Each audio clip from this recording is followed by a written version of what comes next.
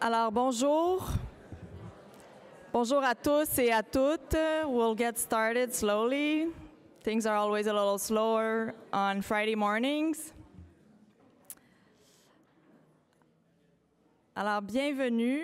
Euh, mon nom est Marie-Ève Sylvestre. Je suis la doyenne de la section de droit civil ici à l'Université d'Ottawa et j'ai le plaisir d'être votre modératrice pour cette deuxième journée du sommet de la recherche des académies du G7 sur la science, la confiance et la démocratie à l'ère du numérique, un événement qui est organisé en partenariat avec la Société royale du Canada, l'ambassade de France et l'Université d'Ottawa. Donc, un grand merci à tous ces partenaires. La journée d'hier a été un véritable succès. Elle euh, s'est terminée d'ailleurs en beauté euh, à l'ambassade de France. Before we get started this morning, please allow me to pay my respect to the Anishinaabe people, who are the traditional guardians of this land. We acknowledge their long-standing relationship with this territory, which remains unceded. We pay respect to all Indigenous people in this region from all nations across Canada who call Ottawa home. We acknowledge the traditional knowledge keepers, both young and old, and we honor their courageous leaders, past, present, and future. Alors, inspiré par cet héritage autochtone, la deuxième journée du symposium va justement être amorcée sur le thème de la diversité des sources de savoir et de connaissances. We will start with a presentation by Chief Ronald Ignis and Dr. Marian Ignis, who I will have the pleasure to introduce in a few minutes. Nous nous tournerons ensuite vers l'avenir avec une table ronde qui propose un dialogue intergénérationnel sur les conséquences de l'intelligence artificielle sur l'avenir du monde du travail. Ensuite, nous céderons la parole à euh, mon mère, scientifique en chef du Canada, qui nous proposera un bilan et quelques réflexions sur euh, la science et la société, et en particulier sur notre relation par rapport euh, à la technologie. Et j'inviterai finalement le président de la Société royale du Canada, Chad Gaffield, à prononcer un mot de clôture. A few housekeeping announcements before we start this morning. A reminder that French to English and English to French simultaneous translation is available throughout the conference and that you can get uh, headphones in the back. Alors, nous avons des interprètes présents sur les lieux pour la traduction français-anglais et euh, donc on vous invite à aller chercher euh, vos écouteurs euh, à l'autre bout de la salle. We will also have a question period uh, after each of the presentation, which I'll be moderating. Um, donc, euh, nous allons avoir une période de questions et vos questions pourront être posées ou bien euh, au microphone ou encore à travers notre système Slido.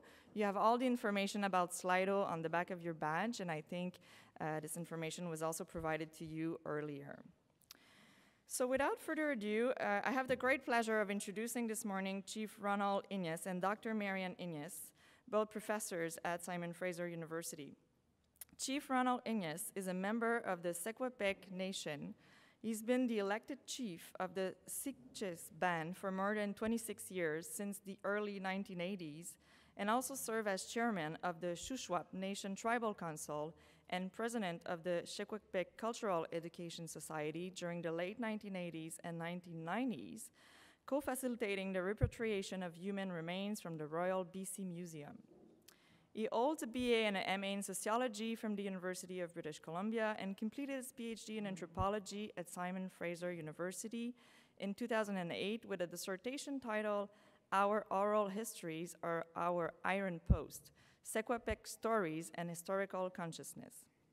He has published and co-published with Marian Ignes several articles and book chapters on Sequapec history, ethnobotany, and language and culture. Élevé par ses arrière-grands-parents, Ron Ignes parle couramment le Sequapechin et a plus de 60 ans d'expérience pratique dans la cueillette des, des aliments traditionnels Sequapec grâce aux compétences qu'il a acquises de ses propres aînés qui ont partagé avec lui leurs histoires et enseignements dans cette langue. Dr. Marianne Ignace is a professor of linguistic and First Nation studies at Simon Fraser University and director of uh, SFU First Nation Languages Program and Research Center. Her publications include A Curtain Within, Haida Social and Symbolic Discourse, co-author with Margaret Anderson, and books on Indigenous language planning and curriculum development for First Nation education steering committees. Based on many years of studies in Secwepemc ethnobotany and ethnoecology, she edited and wrote with Nancy Turner and Sandra Peacock Secwepemc People and Plants, research paper on Shuswap ethnobotany.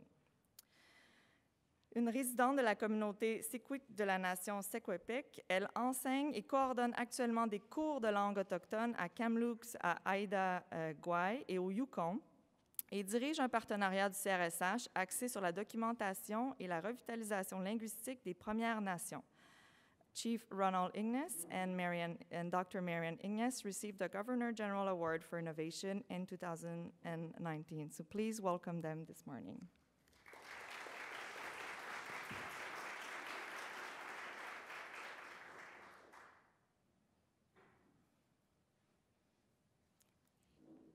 Chouinouch. Bonjour, good morning. In our language, we greet each other with, in the morning with, you made it through the night. so I see you all made it through the night. Uh, Ron? Uh, ma uh, wed ka chochaitib is las goch is chwinwch goch wytl yn wys goch. Chwnan gwm a suchwn ty mi enna dy chylmwch y tmiwchs. As is suchwn tyls elia. As a sus University of Ottawa Jacques, Jacques Fremont. I hope uh, in the Royal Society of Canada, Chad Gaffield uh, in, I guess I should interpret. There's no interpreter. There's no channel for the Secwepemc Machine. So. I'll, I'll, I'll, forget. Uh, I would like to uh, honor and, uh, and, and uh, recognize uh, the people of this land, uh, and as well as honor and Claudette Commanda for welcoming us into her homeland, as well as thank the University of Ottawa and Jacques Fremont uh, and Royal Society of Canada, Chad Gaffield, for having us here, and we're honored to be in front of you today.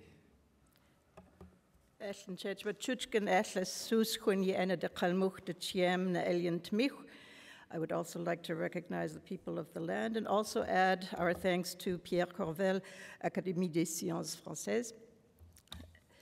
So the presentation that we are giving today uh, in theme is a bit different from many of the things we heard yesterday, but I think you will find and see the connections to the topics of artificial intelligence uh, and uh, the issues that were raised in conjunction with that yesterday. Um, so the subtitle that we have given it, it, next to tapping into all sources of knowledge and culture is Secwepemc Indigenous Perspectives on Language, Land, Laws, and Knowledge. Okay. The place we are talking about, Secwepemc uh, is in the south central interior of British Columbia. That's the homeland of 10,000 years for the Secwepemc people. And it's a very diverse territory with nine different biogeoclimatic zones. If you drive through it, perhaps on the way through Kamloops as you're going to the coast or going uh, east from there, you'll see the cactus and sagebrush and uh, fairly dry country, but it, uh, it changes as you go up the mountains. Oops, there we go. As is the custom before we go into our presentation, we would like to pay respect and uh, honor the many elders that over Ron's lifetime, in particular in the last 30 years, as we've carried out uh, the research on the topic that we're presenting, have guided our knowledge seeking, have shared their wisdom and knowledge. Uh, the elders that you see in this collage here uh, are just a few. Uh, somebody actually, when uh, we published our recent works, of People, Land, and Laws, counted that there were 150 elders in it uh, whose words and uh, whose knowledge we cited. So, uh, but it's also a sign of the time in Secwepemc country, just like in other indigenous nations throughout Canada and many other parts of the world most of the elders that you see in this collage here have left us uh, but with the exception of one, Christine Simon, who you see in the uh, Indian potato patch there in the middle. Uh, and with that also goes the wisdom of our languages. Uh, Secwepemc the Secwepemc language, uh, once spoken by 10 to 15, 20,000 people we don't know, uh, is down to the last 75 or so first language speakers. And most of them are in their 80s, even 90s. So uh, we're in a. I was really fortunate uh, when I came to Secwepemcúlecw uh, in the mid 1980s that I uh, worked with the lady on the top right, uh, Selena Jules, who was the last monolingual speaker of Secwepemc And uh, in order to find out information from her, converse with her, I had to use the language. And we can't do that anymore because everybody speaks English. So, we want to honor all those elders. In the Secwepemc way, uh, when we introduce ourselves. We don't actually introduce ourselves, we introduce one another.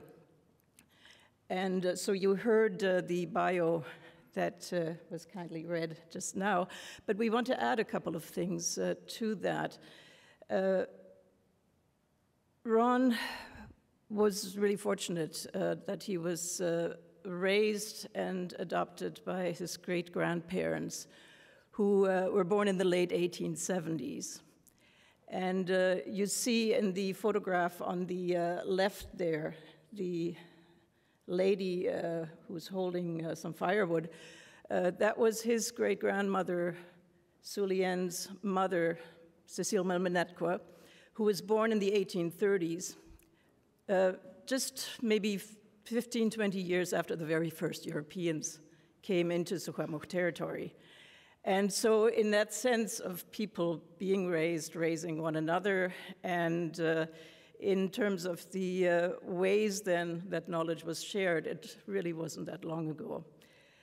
Um, on in the middle photograph, you see uh, the person, second one from the left, sitting with a fur hat. That's uh, Ron's great grandfather, Hyacinth Sisyeskat who was uh, initially a war chief among, among the Secwepemc people, then became the uh, political chief in the early 1860s, and uh, lived through the time that the very first gold seekers were coming into the country, who then started driving cattle herds into Secwepemc territory, and uh, basically uh, overrunning the land. And uh, he was known for having torched the land to uh, try to preserve the uh, integrity of the territory of the Skeetchestn people. And we. Uh, and uh, Marianne was born into a Frisian Plattdeutsch speaking uh, community in northwest Germany. And uh, but she came over to Canada and lived in and was adopted into the Haida community at Masset, uh, where she did her PhD research and, uh, and language documentation ever since and received her name Gulkishkrit. That's it's a Haida word. I'm surprised I can pronounce it. and uh, of course, uh, uh, she's lived uh, in Secwepemc community for 30 years and uh, up in the northern part of our territory before we met. And uh, she's uh, done research on Secwepemc ecology, stories, and our languages and other topics. Uh, and uh, we've raised uh, our children, and we try to raise them into uh, Secwepemc the Shuswap language. And she is the director of a seven-year social science and humanities research partnership grant on language revitalization and it's been a slice.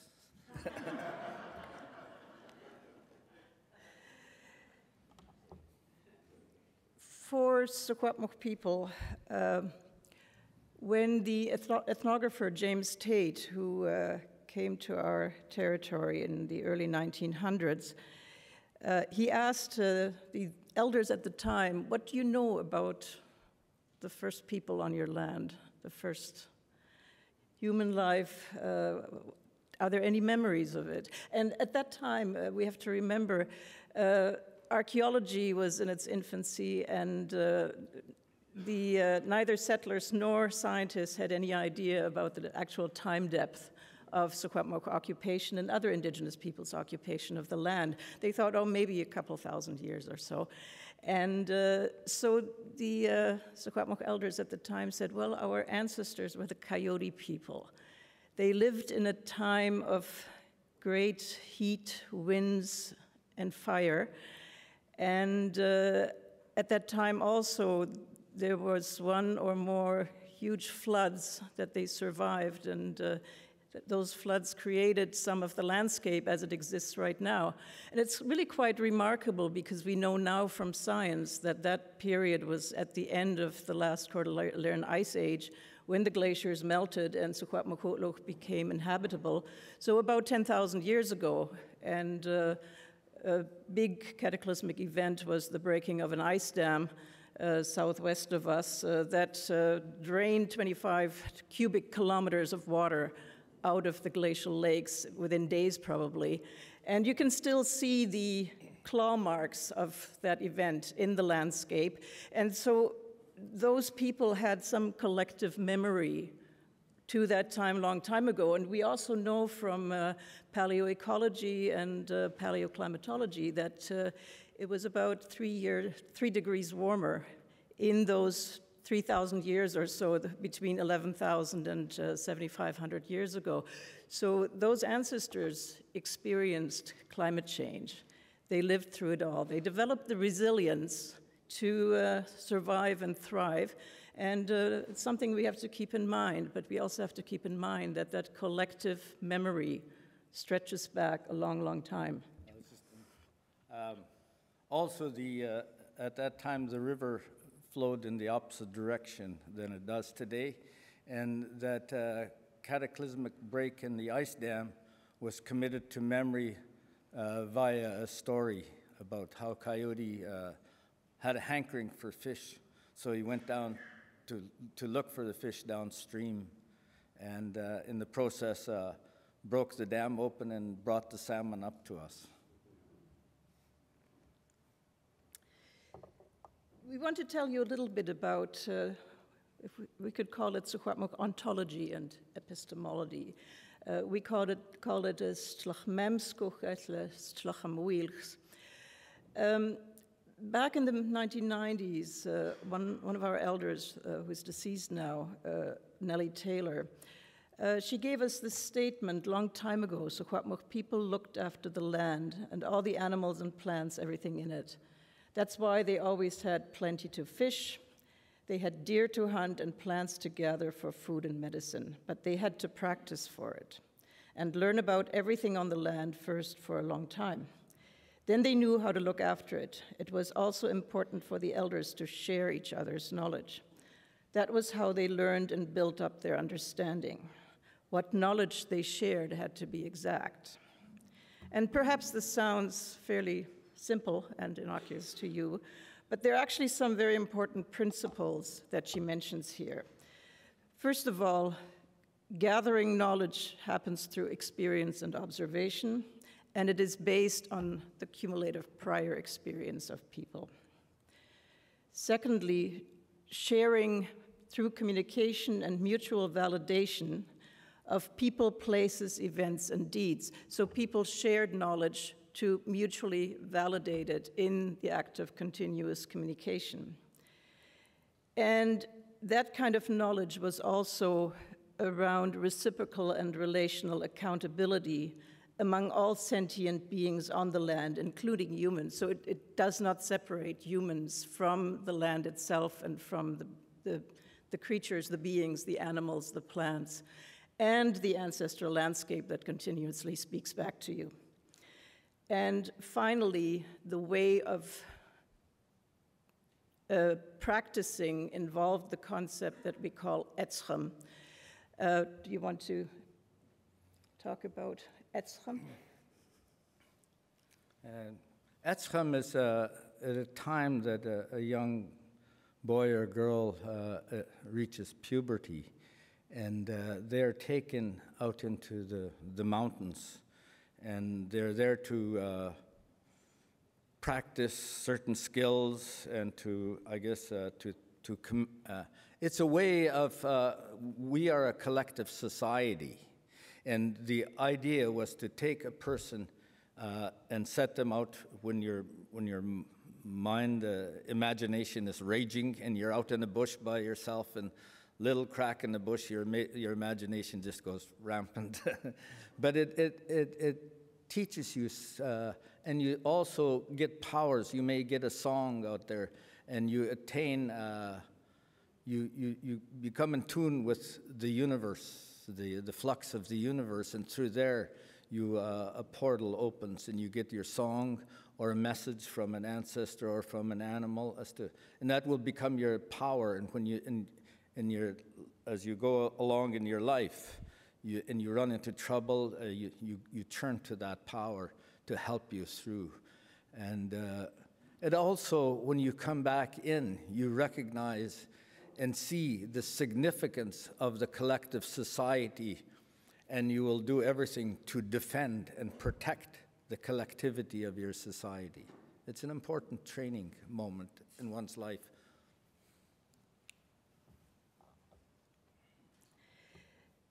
There are also some important principles behind how we Tlacham Wilch. Uh, our elders uh, use the English translation for Tlacham Wilch as uh, how we come to our senses. Uh, and it describes, on the one hand, the uh, time sort of when children are about uh, five, six years old, when they have the first memories, coherent memories that they can share, and to speak about uh, things they experience later on in life. Uh, but it, the, the, word itself quite beautifully shows how coming to know is tied to our senses. The term tlacham uh, includes the idea of clear mindedness as, as, an ongoing process of inquiry. And uh, our elders also talk of it as coming to senses to, to our senses on our land. So the notion of coming to our senses, coming to know, uh, is connected to land and to cumulative experience on the land of prior, prior people. And the land itself, Tmich, uh, is not just real estate, but uh, the term itself, which uh, incidentally exists in all 23 languages of the Salish language family. So it's a very ancient term. It means land, world, earth, nature, animal, spirit, and everything that's in it. So it uh, circumscribes that same sense of uh, land as being connected to humans and to all the beings in it, and as a sent sentient kind of entity.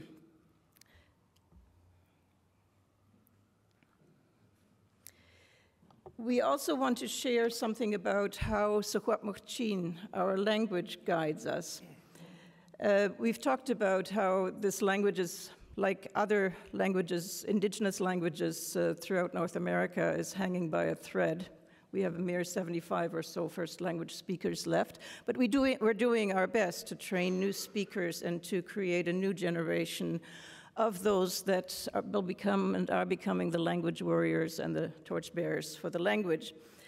Um, but it also includes really important kinds of knowledge and wisdom. Like other indigenous languages, Secwepemctsín has built-in devices of grammar that help us keep track of how we observe, make sense of, and communicate what we know of our social and natural universe and its interactions and interrelations. And as you may know, linguists have pointed to this deep embedding of cognition, worldview, and culture in languages, each language expressing the genius, as it's been called, of a people's history and of being in place. And of course, it's a loss to humanity if, as is predicted, half of the 7,000 languages on Earth become extinct by the end of the 21st century. So some examples that we have of how in Secwepemctsín the language guides our thought is we have these grammatical devices uh, that linguists call evidentials. We tell one another what the ev- evidential status of knowledge we report on is. Uh, is it personally experienced? And we use uh, one type of marking on a verb uh, that deals with that. Or is it knowledge that we know from hearsay because somebody has reported it? Or is it knowledge that we have concluded from evidence of our senses? So, for example, if I say, Chitus, uh, Ron, it means uh, Ron fixed his house. Uh, and the marking on the verb that I'm using means I was there and I saw it when he fixed his house. If I'm saying chitus with the little suffix uka, I'm reporting something that I know from hearsay. Somebody told me that he'd fixed his house as the source of my knowledge. If I say Tchuntesunka chitus with the suffix inka, that means uh, I know from uh, concluding from physical observation that he must have fixed his house. Maybe it, ha- see, it has a new roof, it has a new door, and it's not as dilapidated as it looked last week. So I'm concluding from my observation with the senses. Uh, and in English, we can say those things as well. Uh, we, we, can say he must have fixed his house, or somebody says he fixed the house. The difference is in Secwepemctsín, every time we make a sentence, we need to mark the source of evidence. So it's a different kind of way. And some people have suggested if only in our courts we could have languages that use evidentials, maybe we would be further along on the path of determining evidence when uh, I was doing some thinking and, and, some research, and I was thinking this uh, evidential seems to resonate with the, uh, the right handed rule uh, that is understanding orientation of axis in a three dimensional space. A second way in which the language relates to thought and experience uh, is in the way we use personal pronouns, but in particular, uh, the way we use the first person pronoun, the I. Uh, in Secwepemctsín, we have to use a diminutive uh, of the verb or noun if it's a my kind of thing, uh, which means it's a way of humbly speaking. So we continuously then maintain that rapport with the audience, with the people we're addressing, as expressing ourselves with humility, but lifting up those that we talk to. So it's a different way of interpersonally engaging and uh, showing what we've called earlier reciprocal accountability with those others around us. And uh, the reason that we do that is because we're a collective society, and you want to, and that's a, a way to maintain harmony in your society. You don't challenge each other's, uh, I guess, if you will, egos. Uh, and uh, so that's, a, that's an important component of our language. It's a law within our language that we, we can't do otherwise. One third example, among many others, is uh, the way that uh, Secwepemctsín and other Salish languages uh, deploy lexical suffixes, which are particles added to words that uh, describe the shape or the kind of something, if it's uh, stick like, if it's round, uh, if it uh, is the shape of uh, any body part, a nose, a head, a belly. And so those kind of suffixes inscribe the shapes of the human body into the landscape, into geographic features, place names, and they, they provide very precise ways of uh, uh, defining anatomical terms of uh, hip joints and uh, different kinds of bones in the body and how they actually connect to one another. So it's, it's quite ingenious. Um, when discussing Secwepemc history and the ways in which people relate to the land and to one another. Uh, the late elder Louisa Basil, uh, she used the term Um, when she was uh, talking about rock paintings near her place, and when she was talking, she told uh, me at the time uh, some of our what we call transformer stories. They are narratives, often epic narratives, about uh, humans uh, long time ago that first made the land usable for subsequent generations that named the places and traveled on the land. And uh, she called this uh, including the place names also that are the markings of their deeds. And uh, what she meant by was, she said it in those terms, that's how they gave us the laws. And uh, so, and at the same time, those laws mean the rights that Secwepemc people have. And if you ask somebody nowadays, though, what does strijd mean? It's the word for paper. Because uh, as those markings on the land, then because they, they're considered as the deeds in a very similar term to how we use that in English, as deeds speak to the actions of past people, but deeds are also what gives us legitimacy to occupation of land in the Western fee simple way. In your title to your land. And, the, and of course, those, those were papers. as uh, the ancestors in the late 1900s, when they were dispossessed from those very same papers by not being allowed to preempt land, uh, we're noticing. And those uh, different kinds of of laws given long time ago as deeds uh, revolve around the laws of ownership and trespass between nations. Uh, we have a spectacle or narrative of Coyote sitting on a rock and meeting the transformers that were coming into Secwepemc territory from the outside. Uh, we've placed these narratives by comparing them with archaeological information, the information from the history of Salish languages, paleoclimatology, at around and archaeology as have, having happened around 4,500 to 5,000 years ago. And so they first mark this existence of people as nations in relationship with one another. Secondly, I describes the laws of good conduct between people in those different nations uh, and uh, how people need to behave themselves, how they need to maintain good relations and be responsible not just as individuals, but as members of groups. And uh, I also circumscribes laws of good conduct with and on the land. Uh, so it, it's in what we could call an environmental ethic of reciprocal accountability and responsibility with the beings on the land from whom humans are not separate.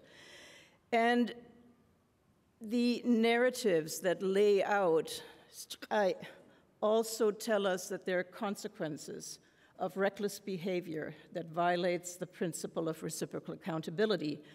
Uh, as in a saying, the land and the sky will turn, onto, will turn on you. And finally, they, the, the narratives and the concepts behind them also tell us that humans cannot turn a blind, blind eye on recklessness, selfish and irresponsible behavior. Uh, we have the saying that tapmest melchmen, so you can't just go like that and kind of pretend something isn't happening. And those might be some interesting lessons for us in this day and age. And Ron will tell us a few things about how this materializes uh, into the way people harvest resources on the land. Yeah, the, the way we look at uh, uh, when we go out uh, hunting or fishing, uh, we, we view the, the animals as an extension of us. There are part, parts of our family that have uh, given themselves to us, will give themselves to us. Uh, we, we as human beings are uh, pitiful. And It is the animals that take pity on us and provide for us so that we can uh, thrive and survive. And it's a, and we have a story in which uh, uh, there was a, a, meeting of all of, of, of all humans in the universe, and they couldn't decide who would be the caretaker of the, of the land. And, and the rock saw an, a human standing, an old man standing on the side, and calls him over and asks him, Will you be the caretaker of the land? And he said, Give me four days to think it over. In four days, he thought over and he came back and he said, Yes. So we were chosen to be caretakers of all things on the land.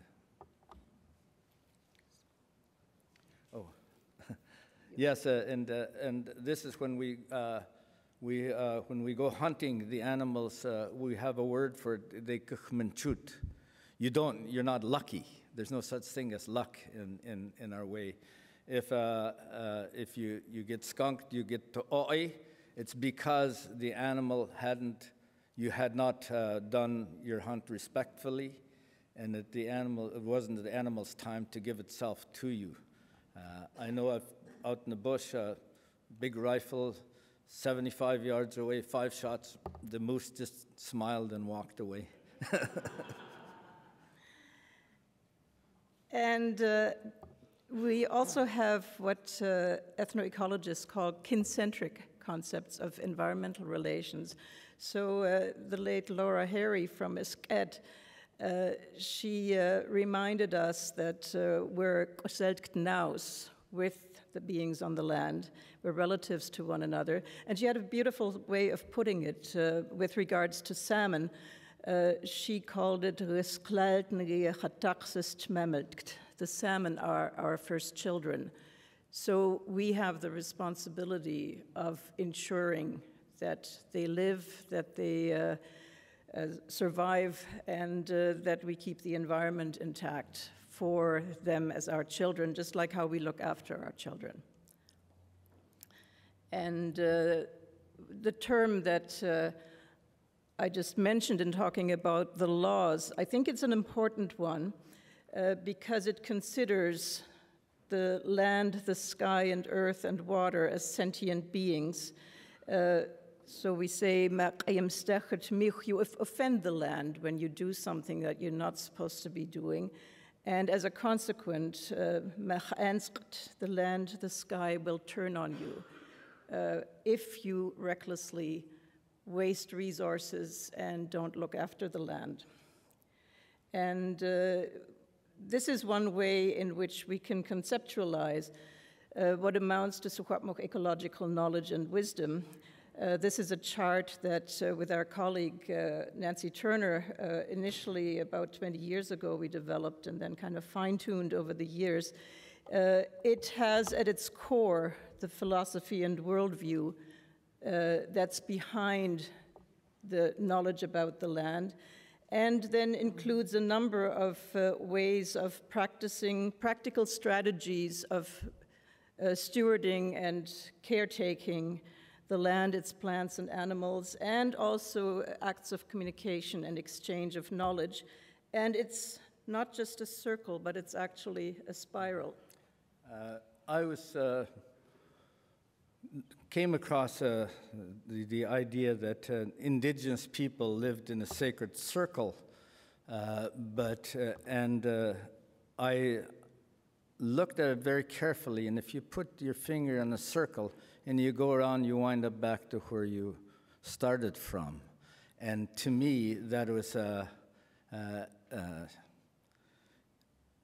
a historical and a cultural way of looking at us. And, and as a matter of fact, there was a time when they spoke about indigenous people as a people without history. And if you look, you characterize uh, uh, Western history, it's lineal, it's unilineal, and uh, as well, uh, and so, so is uh, uh, in the circle. I looked at both of them, and they were mis- the circle was a misrepresentation of us. And the synthesis that I came up with was they misunderstood this, the, the spiral in this part of the circle for, that forms a spiral is actually a spiral. So we have a, a multi-dimensional uh, view of the universe as opposed to uh, a unidimensional view, uh, as, it would be in the circle or in the unilineal history of Western society. And those multidimensional ways of cumulative wisdom, uh, they exist in artifacts sometimes. Um, we, um, some of it is in our stories. Uh, the spectacle and story perhaps is not even a good word. Oral histories, oral traditions is a much better word. word. Uh, we, we, learned uh, from studying uh, the uh, epic narrative of one of our transformers, Tlisa, where he, uh, to shield himself against a huge rabbit that kills people, by wearing a mica shield. And uh, the uh, types of, uh, in English we call it uh, supernatural uh, kinds of beings that uh, were out to harm people, perhaps had types of energies that people, even in those days, sensed. Mica, of course, is an anti-conductor. It disrupts the flow of electric currents, without doubt, in some ways, related to those acts of uh, transforming, of changing. Um, some of these items here that they're actually in the American Museum of Natural History where we paid a visit last January uh, in uh, the process of uh, bringing home the remains of uh, 18 ancestors that were taken from uh, the Kamloops uh, First Nation in, in territory in the late 1800s, and the archaeologists uh, who took those remains that have sat in the uh, American Museum of Natural History ever since also took grave goods, funerary objects uh, that were buried with them.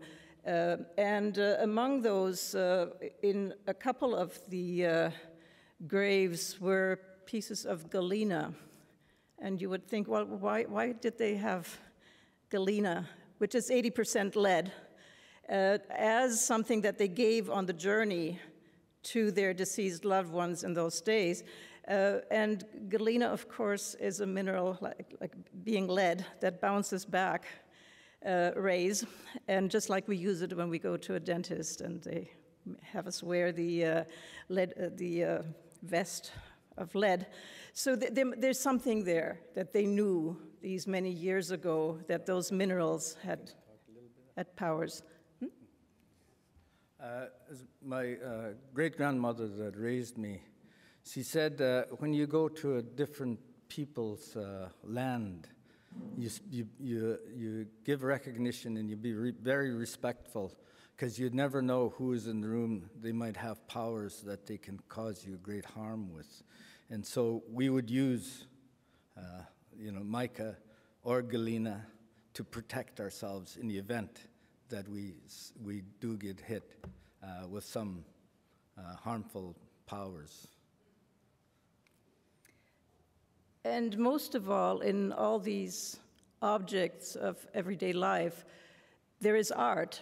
Uh, if you take a close look at the objects around the margins here, a pipe that has the figures of transforming uh, animals uh, and uh, a uh, sitting rock figure uh, that young girls after their puberty training used to be anointed with water. The, the one on the left, I don't know if anybody can guess what that might be. It's not a pipe.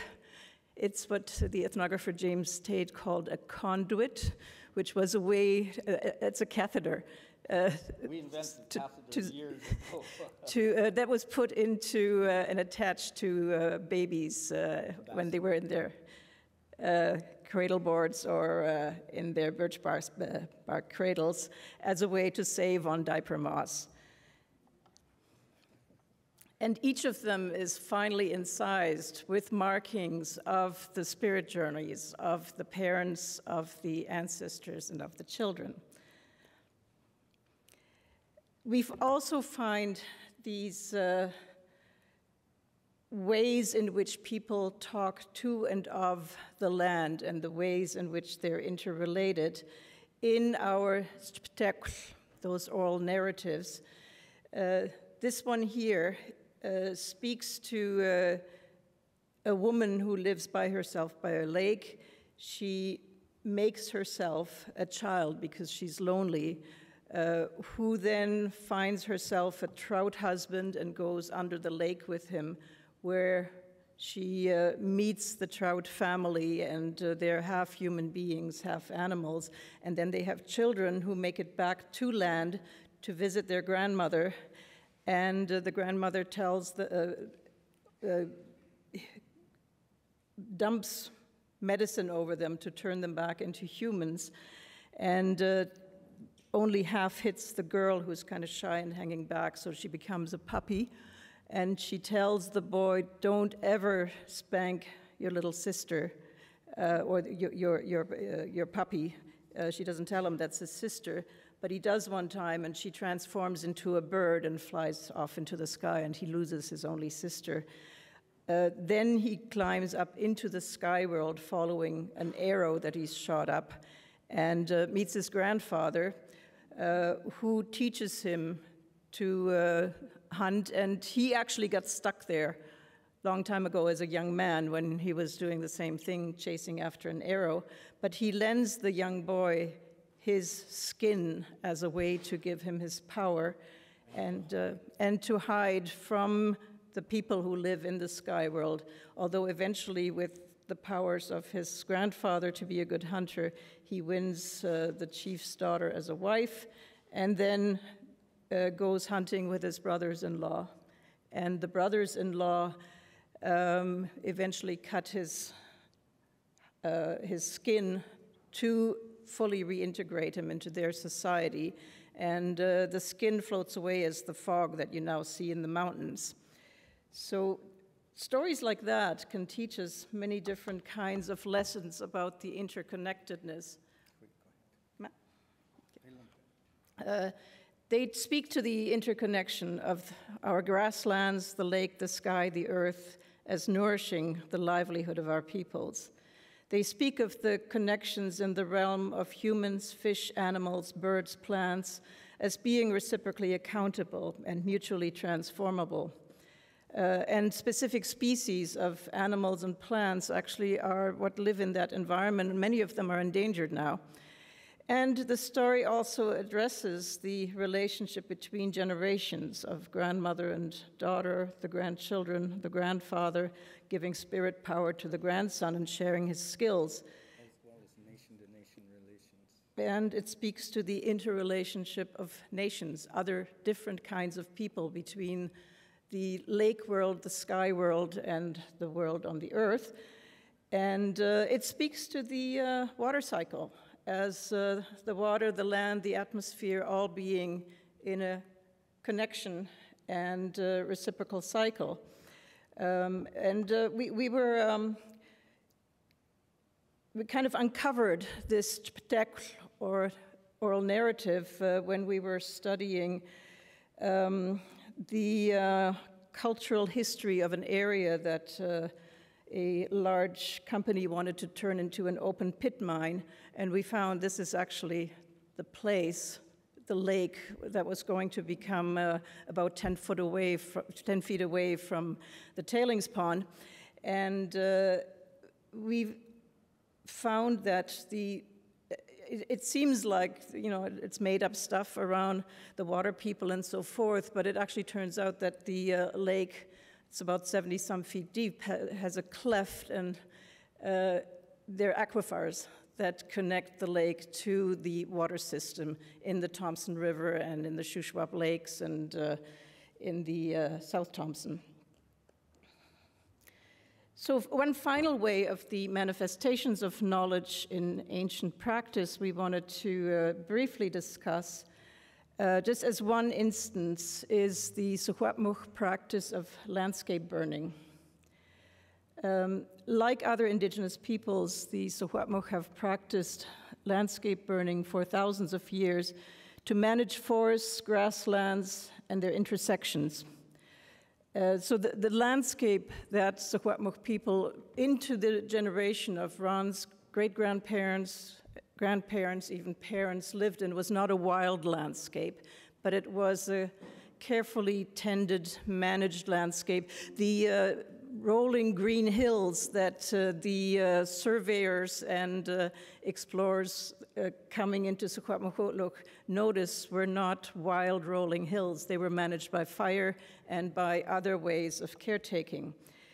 And uh, burning, as we know from ethnoecological studies, enables uh, the, it, it, keeps the forest floor free of fuel and uh, kept the forests and grasslands open. It enabled reseeding and regrowth of tree species like lodgepole pine, which needs fire to regenerate, and it provided nutrients for herbaceous plants. So grasses, we know berry crops, crops do better uh, when you do periodic burning. Uh, we had in our, uh, for example, my great grandfather, that was his job to go out and, and, and uh, do a, a, look at the lay of the land and decide where there would be fires, and you would set fires there for specific ob objectives, whether it's for uh, deer, deer, hab uh, deer habitat or for berries or medicinal plants or whatever the case may be.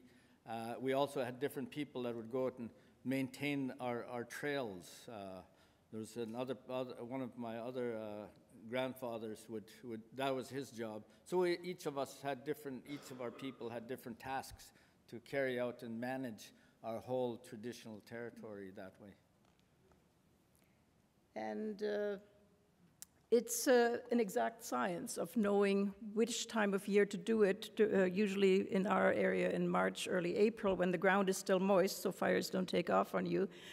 Uh, we've also, uh, in practicing it, uh, come to learn that uh, it, it, has to do with wind patterns. That time of year, in the morning, the wind will blow from one direction, about noon it turns, blows back in the other direction uh, likely due to uh, like temperatures and updrafts at that time. So you set your fire in the morning and then it'll burn back the other way uh, afternoon and you can make sure that it doesn't take off on you.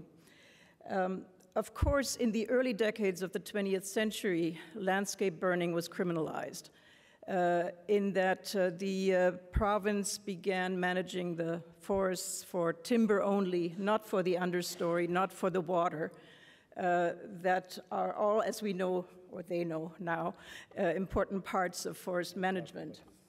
And uh, you, these pictures that you see here, I, I conducted an experiment for 15 years of burning on this particular piece of land in that fashion, and I was able to get rid of uh, invasive uh, species like knapweed and the natural grasses came back, and two keystone plants uh, uh that I hadn't known uh, for last for hundred years to grow there, all of a sudden popped up, and one is a one is a medicinal plant and the other is a food plant. So fire is a healer if used properly. Used properly is the key. And uh, in our community and many other communities, indigenous and non-indigenous uh, throughout the interior, in 2017, we experienced the devastating imp impact of wildfires, uh, most notably the uh, huge Elephant Hill wildfire. And uh, so it's brought the uh, significance of landscape burning back to the attention of the uh, Ministry of Forests and uh, scientists. So we uh, started doing some work together with uh, Professor Lori Daniels, uh, who's uh, in the Faculty of Forestry at UBC. And she's done some very interesting scientific work around measuring the uh, occurrence of past landscape burning. Uh, this particular project here, for uh, which she uh, uh, made a couple of her slides available, uh, is from the southern Okanagan, but we're doing some similar plots right now in, in our area. And uh, so she set out to figure out what was the relative influence of human history, local topography, and climate in driving the historical fire regime among indigenous peoples in the interior. And uh, how frequent and severe and variable were past fires? Were they human set? Were they natural fires uh, from lightning, from whatever kind of sources? How did past fires influence forest structure and composition? And so th- this is what she found. Uh, basically, uh, she and her graduate students looked at uh, fire scars on some, more, uh, I think, over 200 trees in a given plot. Uh, this is near Okanagan Lake in this particular study.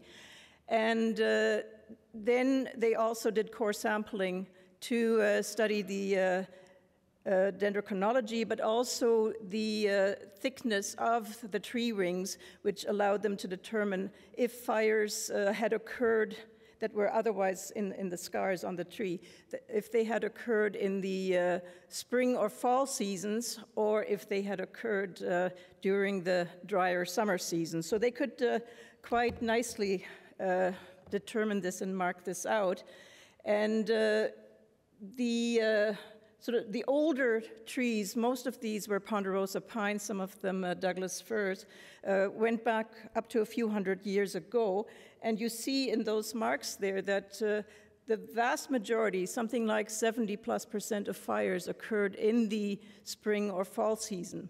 And they were cooler fires, so they were human set fires that were part of the, the landscape management to keep the forest open to uh, burn fuel, and very few fires, in fact, that residue of 25 or so percent, were the hot fires that were accidental, incidental fires in the summer season. And then if you look at sort of just to the right, uh, or th- there's a, like a blank spot in the middle, and the year there is actually 1863 or thereabouts that put a stop to the landscape burning in that area. And there's a, that's no coincidence. That was the year of the big smallpox epidemic in, uh, throughout BC and other areas that uh, killed two thirds to three quarter of the people in the area, and landscape burning stopped because there was nobody left alive to do it. It slowly resumed, but then throughout the 20th century, the uh, fires that were hot fires in summer, like the wildfires we've seen in recent years, have uh, become the prevalent kind of fires.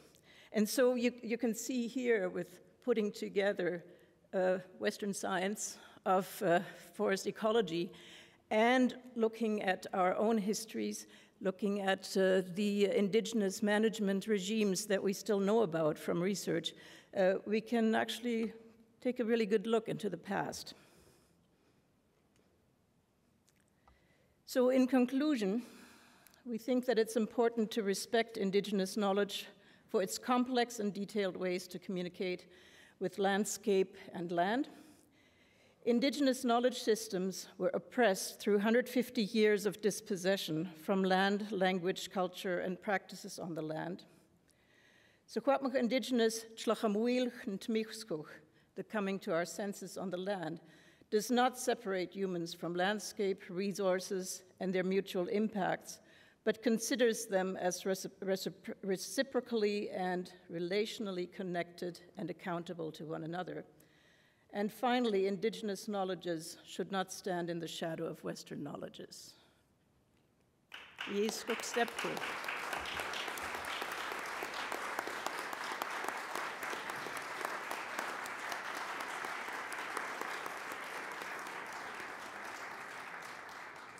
Thank you so much for this very thoughtful presentation, which really uh, emphasized the, the ways, the different forms of knowledges, but also uh, the way we come to know, the way we come to learn and pass knowledge. And the Secwepemc uh, epistemology knowledge is based on experience, practice, reciprocity, and relationships to the land. It's also very much rooted in language and culture. Uh, so these are uh, absolutely uh, important reminders as we think about, uh, you know, new forms of knowledge such, such as artificial intelligence, uh, the importance of uh, not ignoring but celebrating indigenous knowledge as we also come to grasp with important world problems. So for the sake of time, I'm going to turn to the question period. Um, you're invited to send your questions either through Slido or you can also stand up and come to the microphones to ask your question to our speakers.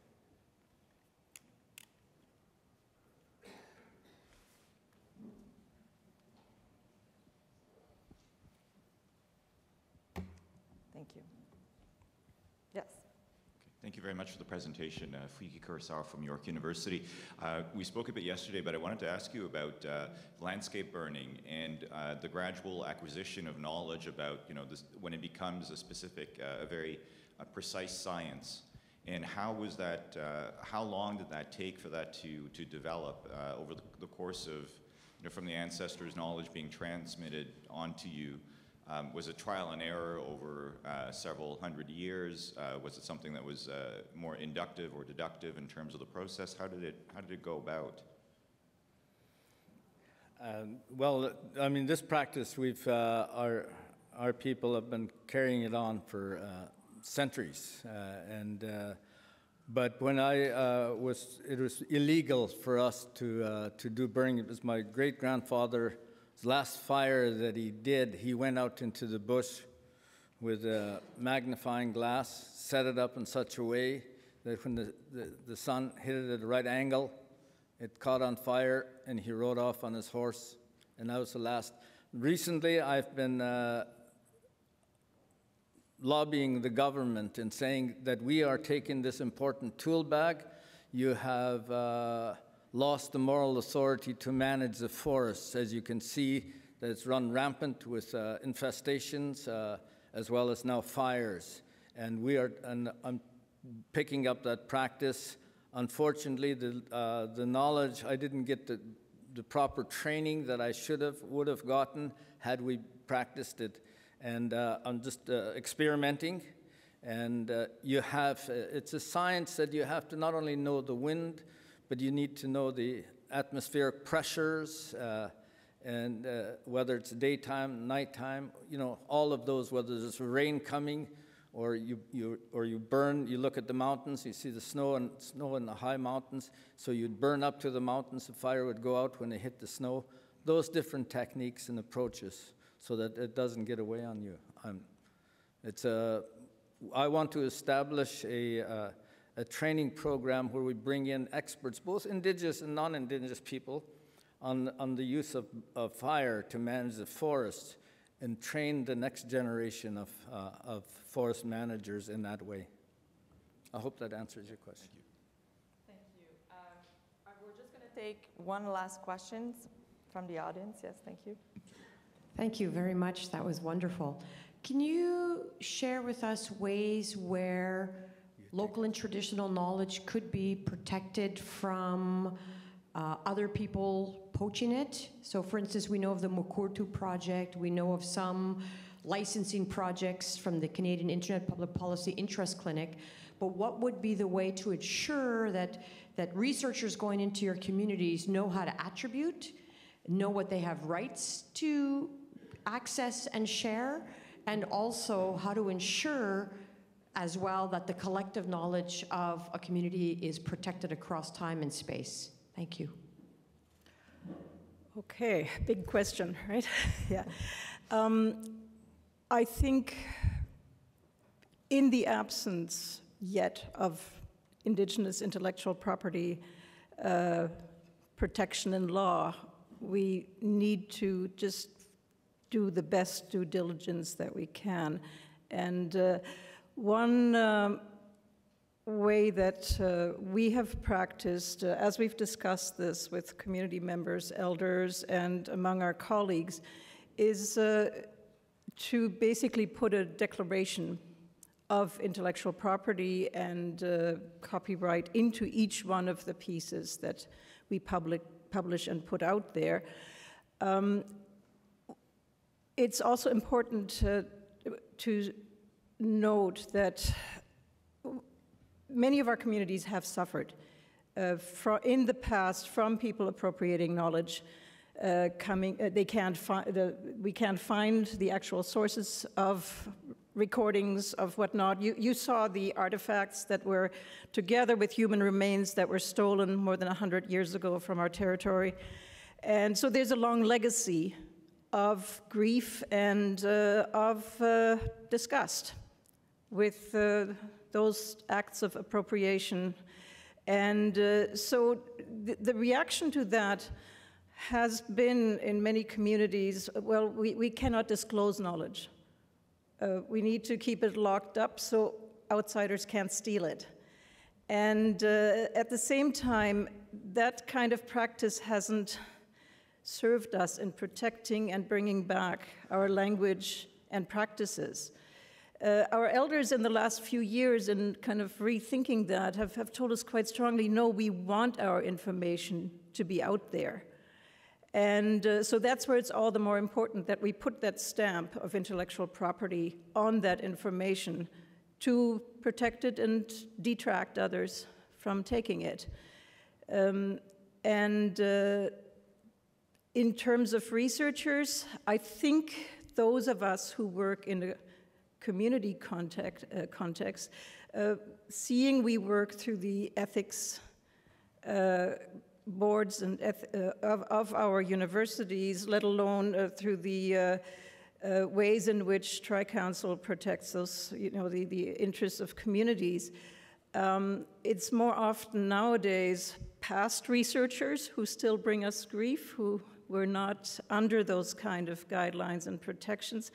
And it's contract researchers who come in and uh, may feel they're not bound by those. So it's up to us in our communities to enforce and train and uh, protect that. And I don't know if Ron has something to say. Just uh, quickly, uh, yes, uh, in, in the 80s, uh, we got together as a nation and we made a resolution that if anyone is to come into the Shuswap Nation to conduct research, there's terms in which they, they, they can only utilize that for educational purposes. They cannot uh, publish it for profit, uh, and that they'll have to turn over their notes to us, back to us once they're finished, so that we control and maintain that, uh, that knowledge. And because uh, our people uh, stated, as Marianne pointed out, that in not transmitting our knowledge or giving our knowledge, speaking about our knowledge, uh, our children have suffered as a result of it. And uh, our elders are now uh, saying, you know, it's too bad that we had to do things that way. So we get, we're working really hard to try to re educate our, our, our, our youth. Uh, so thank you very much. I'm sorry that we won't be able to take all the questions on Slido, but I feel that many elements of those questions were already addressed. So thank you very much for your talk.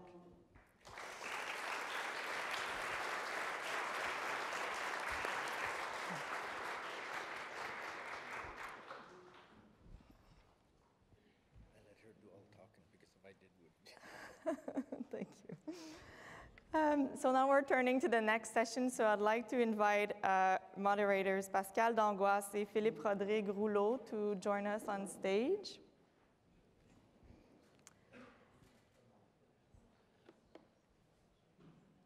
Alors, je vais, je vais les présenter. Euh, bonjour, voilà. Euh, alors, la prochaine table ronde, donc, va être modérée par Pascal Dangois et Philippe Rodrigue Rouleau. Pascal Dangois est une euh, doctorante au département de communication de l'Université d'Ottawa. Ses intérêts de recherche portent sur l'étude critique des communications politiques canadiennes, médiatisées ou non, sur tout ce qui touche au sujet du féminisme. Elle s'intéresse aussi aux mouvements sociaux et à l'activisme. Pourquoi et comment est-ce que les Canadiennes décident de participer ou non à un mouvement social et comment est-ce qu'un tel mouvement évolue? Pascal Dangois est assistante de recherche également sous la direction de Constance Crumpton pour le projet Lesbian and Gay Liberation in Canada. Et elle sera euh, en compagnie de Philippe Rodrigue Rouleau, qui est également candidat au, au doctorat en communication à l'Université d'Ottawa. Ses intérêts de recherche portent sur les mutations du journalisme, l'éthique et la déontologie journalistique, de même que sur la communication interpersonnelle. Depuis 2018, il enseigne au département de communication de l'Université d'Ottawa travaille comme assistant de recherche auprès de la professeure et vice-rectrice associée Martine Lagacé sur la question du vieillissement de la main-d'œuvre, de l'âgis et de la cohabitation intergénérationnelle en entreprise. Philippe a auparavant obtenu ses diplômes de baccalauréat de maîtrise à l'Université Laval et a étudié deux semestres à l'étranger, à Edinburgh et à l'Université catholique de Louvain. Et les boursiers du Fonds de recherche du Québec, FQRSC, de la, et euh, récipiendaires de la Bourse d'études supérieures de l'Ontario. Alors, je leur cède la parole pour la prochaine séance. Merci. Est-ce que les micros fonctionnent? Je crois pas qu'il fonctionne. Ça devrait? Ah oui, on, on m'entend très bien. Bonjour, est-ce que vous m'entendez? Hi, everyone. Uh, thank you for being here. So, as she said, my name is Pascal Dangois. Uh, first, we're honored. Uh, oh, no, actually, it's your turn to go. Ah, my name is Philippe Rodriguez Rolo, so I'm also a PhD candidate, as, uh, as you know, from the University of Ottawa. Euh, ensemble, il nous fait vraiment plaisir de modérer euh, cette table ronde de, ce matin euh, pour le compte de la Société royale du Canada et euh, de l'ambassade de France. Alors, cette discussion se déroulera dans les deux langues et une traduction, comme vous le savez déjà, vous est offerte simultanément. On vous invite également à utiliser le hashtag Sommet G7 Ottawa sur les réseaux sociaux et l'outil euh, Slido si vous voulez poser des questions. On essaiera de poser quelques-unes de ces questions-là à la fin de la présentation. Donc, la discussion de ce matin intitulée Dialogue intergénérationnel, les conséquences de l'intelligence artificielle sur l'avenir du monde du travail réunit, euh, on peut dire, trois personnes d'exception qui, euh, nous le croyons fortement, euh, vont nous nourrir une réflexion de haut niveau sur le thème euh, d'aujourd'hui. Alors, euh, laissez-nous vous les présenter. First, uh, we are honored to welcome Dr. Ailish Campbell, uh, Chief Trade Commissioner of Canada since 2017. In this role, Dr. Campbell is responsible for a team of hundreds of trade commissioners in 160 offices around the world who help ca- Canadian firms sell, grow, and go global. Auparavant, Dr. Campbell a été directrice générale à Finance Canada, en charge du budget fédéral pour les politiques, dont la politique en matière d'innovation et de défense. En outre, elle a été vice-présidente des politiques internationales et budgétaires au Conseil canadien des affaires, où elle s'est occupée des relations du chef de la direction avec la Chine, le Japon et l'Inde. Elle a commencé sa carrière dans la fonction publique fédérale canadienne en tant que négociatrice commerciale du cycle de Doha des négociations de l'OMC. Dr. Campbell holds a master's from the London School of Economics and she and a doctorate in international relations from the University of Oxford. She is designated uh, as a young global leader by the World Economic Forum. Nous sommes aussi euh, très heureux d'accueillir le professeur Olivier Faron, donc administrateur général du Conservatoire national des arts et métiers en France, le CNAM, et spécialiste des politiques d'enseignement supérieur, de recherche et de formation professionnelle. Donc, ancien élève de l'École normale supérieure de Saint-Cloud, agrégé et docteur en histoire, il a été, durant les années 80 et 90, chargé de recherche au Centre national de la recherche scientifique et directeur adjoint du programme dynamique urbaine de ce même CNRS. During the 2000s, he was professor at the universities of Lyon 2 and Paris 4 Sorbonne and was appointed director of the École normale supérieure de lettres et sciences humaines in Fontenay-Saint-Cloud. In 2010-2011, he held the position of general director of the École normale in Lyon and that of deputy director of higher education for the French Ministry of Higher Education and Research in the years 2011 and 2012. Thank you. Finally, we are honored to welcome the economist and public policy expert Sean Mullin. Mr. Mullin is the founding executive director of the Brookfield Institute for Innovation and Entrepreneurship, whose multidisciplinary research team aims at advancing innovation policy in Canada. For more than a decade, Mr. Mullen has championed and shaped important public policy decisions with a particular focus on economic issues. Avant de rejoindre le Brookfield Institute, Mr. Mullen a occupé le poste de chef de cabinet au sein d'une société de financement par capitaux propres de Toronto, où il a travaillé pour les finances et la stratégie de gestion. Mr. Mullen a également conseillé pendant plus de six ans le premier ministre de l'Ontario et le ministre des Finances de l'Ontario. Uh, he also contributes to the public policy discourse in Canada and has frequently been published as an author, has contributed to reports, and was invited to speak on topics ranging from tax policy, infrastructure, clean technology, economic development, and innovation and entrepreneurship. Mr. Mullin has a degree in economics and computer science from the University of Toronto, an MA in economics from McGill, and an MBA from the University of Oxford. So we're all gathered here to, this, today to discuss the impacts of um, artificial intelligence and automation in the workplace. Of course, AI is far from new, but uh, it is uh, a inescapable dimension of, of, the work, of the workplace today, so much so that some people talk about the fourth industrial revolution uh, to describe a workplace that is increasingly uh, characterized by algorithms, self-automated tasks, self-learning uh, problem-solving machines. Nevertheless, according to a recent survey by the specialized, firm Robert Half, 60% of Canadians think that AI and automation will have a negligible impact nonetheless on, on their job. Donc, ma première question à vous tous pour commencer, est-ce que est-ce qu'on sous-estime un peu collectivement, les travailleurs, l'impact que va avoir et qu'a déjà l'intelligence artificielle euh, dans le monde du travail? Sean? Um, first of all, thank you for having me here, and a uh, pleasure to be to be part of this group. Um, can everyone hear me? Yeah. Okay. Good.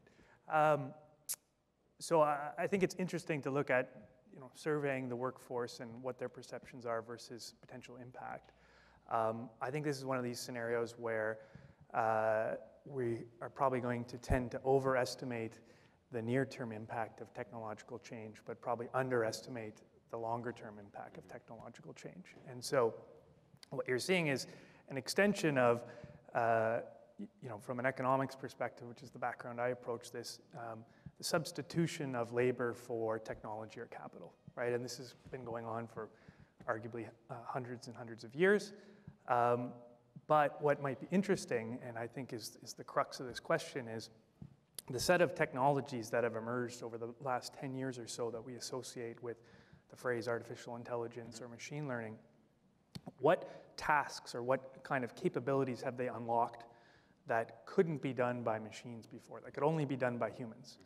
And um, if you look at the history of automation, for 50, 60, 150 years since the um, Industrial Revolution, we've been good at taking kind of repetitive manual tasks uh, in manufacturing environments and others, uh, creating uh, technological solutions to them and essentially uh, reducing the component of, of, of human labor, um, largely to a, to a great outcome. I mean, higher productivity is how we raise uh, living standards. Um, what might be interesting, and what I think where a lot of the focus is now, is these techniques we associate with artificial intelligence um, are, are higher order cognitive functions. Mm-hmm. Um, there are things like pattern recognition, image recognition, um, that in and of themselves are, are quite interesting and have many applications, but when you start to piece them together out of this you know, collection of tasks that humans do as part of their workforce, um, is there a whole category, um, largely service-based jobs or higher order cognition jobs, that um, are now at risk of being uh, uh, largely impacted. And, and, uh, and I think that's the real question um, and, and uh, that we have to hit our heads around. Do we know Excuse what me. are the areas of work that are going to be the most impacted by uh, automation and artificial intelligence? I mean, if you look at uh, if you look at the, the, variety of different studies in this space, and, and our institute has, has, done some of this work for Canada. Uh, in the near term, you know, if you look at things like automation, it's still it's still that um, repetitive manual type jobs, um, but in potentially different contexts. So, what are jobs that are potentially at risk? Uh, accountants, administrative assistants, um, uh, potentially retail sales jobs. Um, uh, these are large areas of employment, truck drivers potentially, where those types of occupations can change dramatic, dramatically. Um, but I think the most interesting way to think about it before I kind of turn it over to my colleagues is, is not at the occupation level, um, but rather breaking it into the task level, right? Because um, Will we ever completely take humans out of the transportation of our goods? Um, there will be the use of humans in some way, but it, it may change drastically. Similarly, let's take an accountant. Um, if you could do many and many of the tasks of accounting, automate them, you're still probably going to need a human to provide advice, to interpret those things. Um, and so what you're really doing is, is, is, you're seeing these jobs and occupations change quite dramatically as opposed to being kind of completely eliminated or, or maintained in their same way.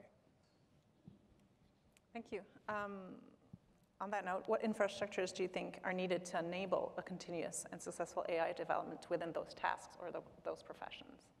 It, this answer can go to any. Maybe Dr. Campbell? Yeah, sure. Premièrement, un grand, grand, grand merci à mes collègues de l'Ambassade du Canada euh, et aussi l'Ambassade de, de, France euh, pour euh, cette conversation et aussi la Société royale du Canada. C'est excellent, c'est très intéressant d'être parmi vous. Um, I think it's also important that we're in a university setting because I'm sure that the answer to all of your questions uh, is going to require a deeply interdisciplinary focus and lots of conversation between the private sector, the public sector, government, regulators, um, and academics, bringing a multiplicity um, of perspectives on the challenges that we're talking about. Um, I think, you know, I'd fully agree with what John was saying about the, the task-related elements of this. Um, I was joking to my staff the other day, we had, a, we had a tough problem, and I said, you know, use your HI. And everyone was looking at me, and I said, yeah, your human intelligence. Um, so it's one thing to talk about artificial intelligence, and what's really powerful, um, speaking with many of our entrepreneurs um, and also academics in Canada, the United States, and across the G7, I mean, it's just how powerful some of the training modules are becoming. And what's really interesting when we talk about artificial intelligence as applied to communication, um, it, we're only, I think, about a year away from releasing software that essentially can mimic and create conversational content that sounds just like a person.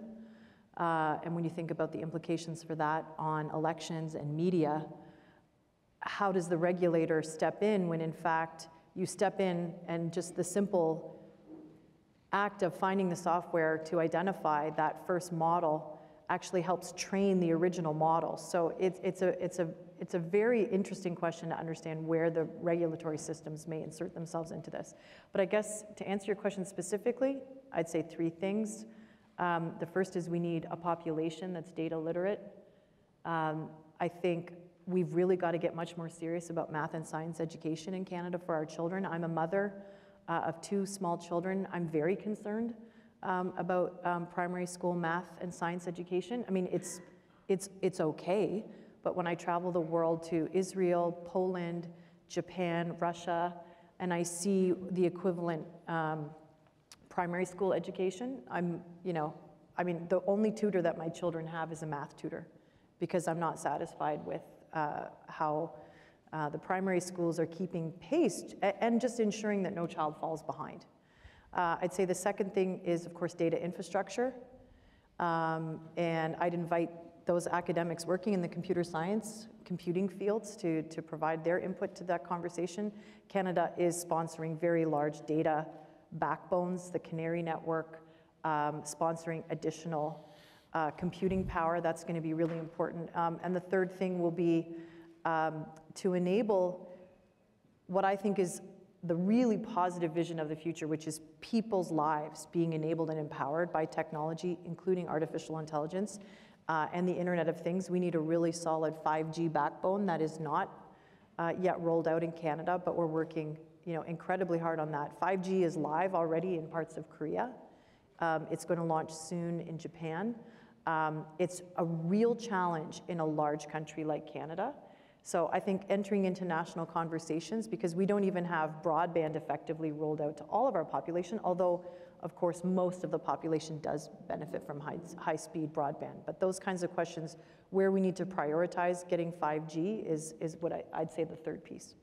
Euh, Monsieur Faron, je serais euh, curieux donc vous entendre. Quel est l'avantage compétitif de la France dans le domaine de l'intelligence artificielle? Vous pouvez un peu peut-être peut nous parler des forces en ce moment euh, en présence dans, dans, votre, dans votre pays. Merci beaucoup. À mon tour de, remercier de, pour l'invitation à la fois l'ambassade de France, les, académies. Je voudrais aussi rajouter, puisque dans mon CV, que j'ai la chance d'être docteur honoris causa de l'Université d'Ottawa, donc euh, j'en suis, j'en suis très fier quand je suis, quand je suis ici. Euh, alors, euh, les, forces, les forces compétitives de, la France, c'est une question assez large. Je, dirais que d'abord, hein, il, il, y a eu une mobilisation politique assez forte euh, du gouvernement sur cette question-là. Euh, il y a eu un plan euh, qui est piloté par Cédric Villani, donc mhm. le député Cédric Villani, qui est sur l'intelligence artificielle. Et je suis d'autant plus heureux d'en parler qu'il a été annoncé au Conservatoire national des arts et métiers en présence d'Édouard Philippe, le Premier ministre. Alors, les, forces, je dirais, c'est la capacité probablement, comme, comme d'ailleurs le Canada, d'avoir un, potentiel de recherche de très bon niveau, d'avoir euh, un certain nombre de chercheurs dans les domaines à la fois de l'informatique, mais aussi euh, des mathématiques, euh, de la statistique, qui sont capables de, de se mobiliser. Et puis je reviendrai quand même sur, euh, si, vous le permettez, sur euh, les deux questions, enfin sur la question quand même du monde du travail et comment euh, on doit aussi être capable de nous mobiliser pour répondre à ça. vous posiez la question sur la, sur la question de la... Est-ce qu'on a peur Est-ce que les citoyens ont peur de changer? Euh, d'abord, euh, et, je suis très heureux aussi de parler dans un cadre au G7, on avait eu la chance euh, au CNAM d'accueillir la société civile parlant au G7 en juillet, donc je pense que ces, moments de discussion sont essentiels. Je voudrais insister sur deux points. Le premier, c'est, et c'est ce que vous, venez de dire, c'est voilà, beaucoup de, beaucoup de l'acceptabilité de l'intelligence artificielle. Le mot-clé a été prononcé hier, c'est en termes d'éducation, de formation, d'intégration. Donc, à nous aussi de, changer les lignes, à nous de faire comprendre, à nous euh, d'attirer euh, euh, des publics qui ne sont pas forcément au fait de ces connaissances-là pour leur faire partager la chose. Donc ça, c'est le premier point. Et puis sur la question de comment l'intelligence artificielle impacte, par exemple, le monde du travail et comment il, est, perçu par ça, on assiste quand même à un, un mouvement U assez classique, c'est-à-dire que les besoins de l'intelligence artificielle, et là aussi je reviens à ce qui a été dit hier, c'est des besoins en données, des besoins en codage, donc des besoins voilà, qui, qui, euh, sont réels. Donc euh, pour cela, voilà, on perçoit qu'on a besoin de codage, qu'on a besoin. Et puis au bout du U, euh, c'est des besoins d'analyse des données, de data scientist ou de faire des algorithmes. Et ces deux besoins-là, aujourd'hui, sont plutôt réels, perçus, donc ça, ça suscite, ça suscite des vocations je, conclurai en disant que pour un pays, pour un vieux pays comme la France, euh, la question, elle est à la fois de faire que tout toute cette agitation intellectuelle au sens positif du terme, tout ce progrès scientifique, toute cette mobilisation des chercheurs, des établissements d'enseignement supérieur de recherche, soit euh, mieux perçu donc, euh, et, mieux compris de l'ensemble de la population. Donc il y a vraiment une question de, capillarité de, ce que nous faisons. Et ça, c'est ça, c'est aujourd'hui un vrai enjeu. C'est pour ça qu'un dialogue dans le cadre du G7, dont j'espère que voilà, on pourra diffuser largement les résultats, est euh, un moment important. Same question for, for you, Mr. Mullen, uh, Dr. Campbell. What is Canada's competitive edge in terms of mm -hmm. artificial intelligence? Do we have a niche in particular, something that we can be particularly proud of? Mm -hmm. Please. Mr. Mullen first. Um, I mean, I guess I would say, you know, first of all, and, and this won't be news to anyone in this room, but, um, but you know, we here have been um, uh, the location for many uh, large and consequential breakthroughs uh, in this over the last 10 years. Um, some of the world leaders uh, in deep learning and artificial intelligence, uh, and this work has happened in Canada, and, it, and it's, it's one of those overnight successes that, that took 35, mm-hmm. 40 years of, of investment and foresight. Um, to get to. So uh, I, I, think the more we can continue to support uh, that type of activity uh, uh is really one of the only ways um, that we compete now that you know, large nation states like China and the United States and others are, are pouring in uh, literally billions and billions of dollars on this. The other thing I would, I would say is just um, you know, having uh, a talented workforce, um, an open society, um, and, uh, and maybe the way um, that, uh, that our two countries are, are kind of dealing, even a forum like this, where we're thinking about this not as a strictly technological problem, but how it fits in with broader public policy and society issues. I think we could potentially have that become a competitive advantage um, and to see how the application of this technology uh, to a much broader set of um, societal benefits and you know, avoiding, avoiding harms um, could be something that, um, that Canada and France, excuse me, together uh, uh, use to their long-term advantage. Dr. Campbell, quickly on this. Yeah, so, so let me tell you in like 20 seconds the typical story of, of economic development in Canada, which is we punch way above our weight in the R&D phase uh, of economic sector development and we are really great at starting companies. Canada has one of the easiest places to start businesses, so that's great. And then we fail on the mass scale commercialization and prosecuting large companies. And there's no reason that that has to continue, none at all. So I think uh, seeing venture capital come into Canada with much more intention. Now we have to have more growth capital. We have to look to our financial institutions. We have very well capitalized banks in Canada. Uh, seeing them participate more uh, in the growth phase of capital would be awesome. And I would say uh, the visa and skills and trained Canadians piece that Sean was talking about, we are able to attract the world to Canada. Part of that is because Canada, and it's really thanks to everyone in this room, every day I'm so blown away. I love coming home when I travel because people here are deeply, truly respectful of one another. Uh, we have work to do. We always have work to do, and I recognize our Indigenous colleagues that spoke before us. We have a lot more work to do on reconciliation, but I think we're on the path and we have to keep going. Um, that's not the case in many places that I travel. Part of this is Canada's great brand internationally. Part of it is, frankly, the United States really scaring, you know, I would say people uh, who can't renew their HB1 visas. Uh, we're attracting engineers from around the world in numbers, frankly, that we weren't before. But my last point would be, you know, do look at the numbers. In terms of patents related to AI um, and academic papers internationally, the US and China still vastly, exponentially outnumber us, even when you control for population size. So let's say they were smaller or we were bigger. Um, it just means we have to be all the more intentional about our work, and I'm thrilled uh, about some of the investments in innovation infrastructure, particularly the pan-Canadian uh, strategy on AI. I tip my hat repeatedly to Alan Bernstein and the entire CIFAR team, uh, to Sean's point, who really seeded this work uh, quite some time ago. But I'm excited about investing in innovation, the innovation parts of the ecosystem that bring business demand and our researchers together, the Vector Institute in Toronto, our work in Montreal, the Superclusters Initiative, this kind of experimentation at a larger scale with a lot more intention, capital, focus, and problem solving is essential if we're going to keep that AI advantage that Canada has. Thank, Thank you. Euh, on va passer sur un autre thème. Je crois que c'est un thème qui va vraiment vous parler euh, aux trois en même temps. Donc, un rapport euh, de la Banque RBC de 2018 indique que plus de 50 des emplois canadiens seront affectés d'une manière ou d'une autre par l'intelligence artificielle dans les prochains 10 ans. Ce qui va un peu dans le sens du rapport de l'Institut euh, Brookfield, de M. Mullen, qui parlait en 2016 de plus de 40% des tâches de travail qui pourraient être remplacées par l'automatisation et l'intelligence artificielle. Euh, le rapport indique aussi qu'il y, y aura sûrement plus d'emplois dans le futur et non pas moins. Or, ce sont les compétences professionnelles exigées qui vont être en profonde transformation. Alors, Dr. Campbell, vous l'avez mentionné un petit peu, c'est les mathématiques, les sciences. Il va falloir euh, en discuter. Monsieur euh, Faron, en tant qu'administrateur général du CNAM, ça pourrait être intéressant aussi d'avoir euh, votre réponse. Et puis, on vient de, noter votre, rapport de Brookfield Institute. Donc, on, pourrait essayer d'avoir une petite discussion après l'autre à, propos de ça. Peut-être sur, effectivement, la, question centrale devient vraiment celle de la, de la compétence, c'est-à-dire quelles sont les compétences et comment on peut découper euh, les, enjeux qui sont les enjeux professionnels et, expliquer, imaginer les, compétences qu'il faudra avoir pour, euh, pour répondre à ces enjeux professionnels.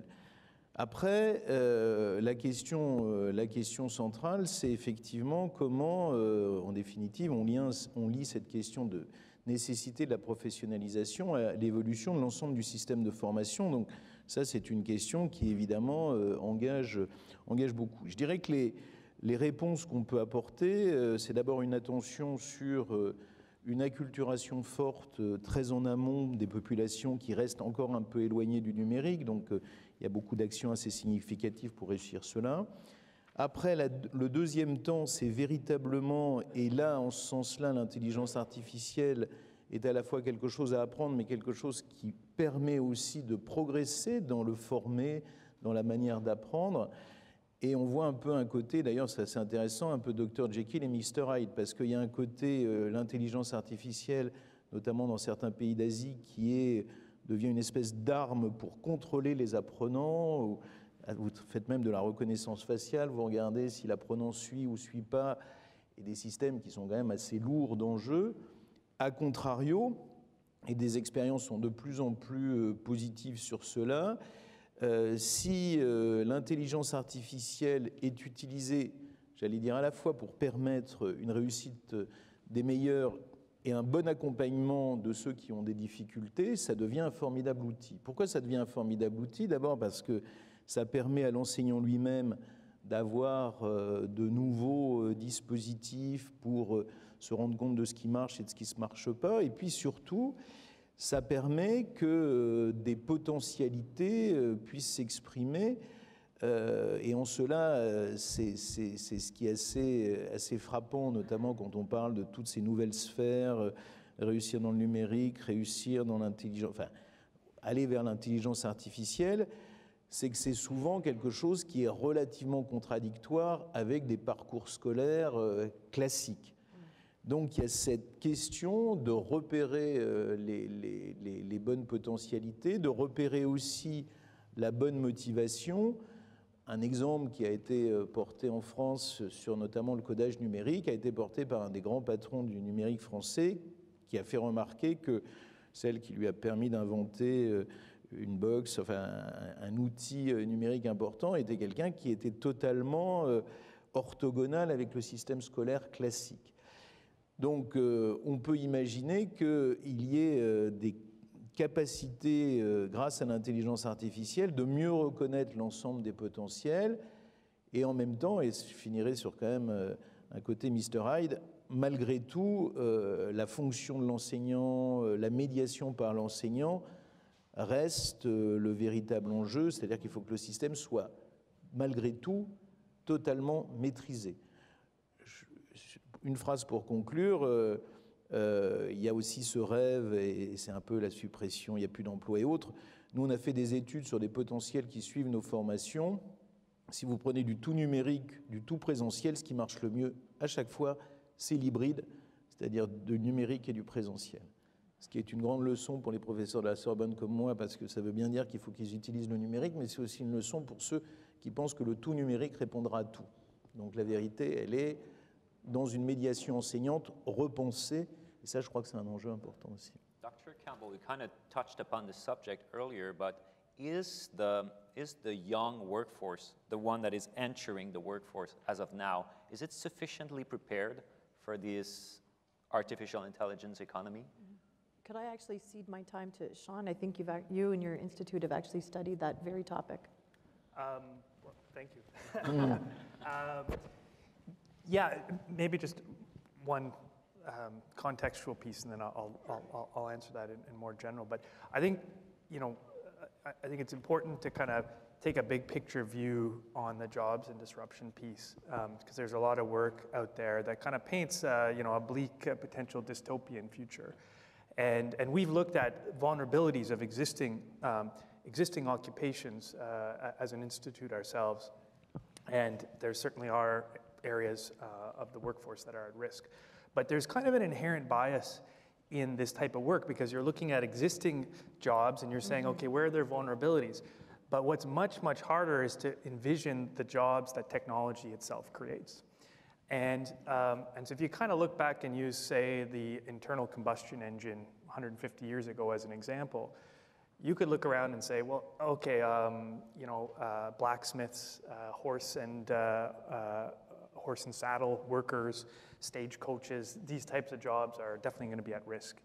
And you might have you might have been really thoughtful and said, well, okay, but there's going to be cars and people are going to have to service them, so those those are going to be jobs as well.